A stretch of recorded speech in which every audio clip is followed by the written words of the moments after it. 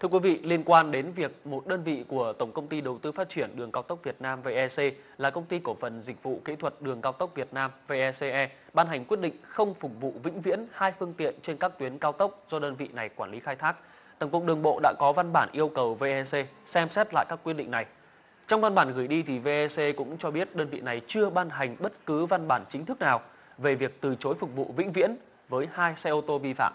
Hiện đơn vị thành viên VECE mới chỉ có báo cáo đề xuất gửi VEC để xem xét xử lý.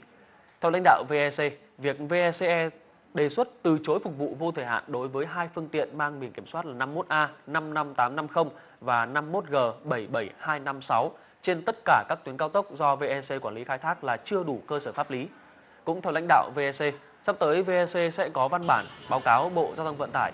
nhưng về nguyên tắc thì VEC sẽ đề nghị cơ quan quản lý nhà nước phải có những hành động tích cực, hoàn thiện hành lang pháp lý để phòng chống việc một số cá nhân lợi dụng gây rối, gây mất an ninh trật tự, ảnh hưởng đến an toàn giao thông, gây hậu quả nghiêm trọng, ảnh hưởng đến những người tham gia giao thông khác trên các tuyến đường cao tốc.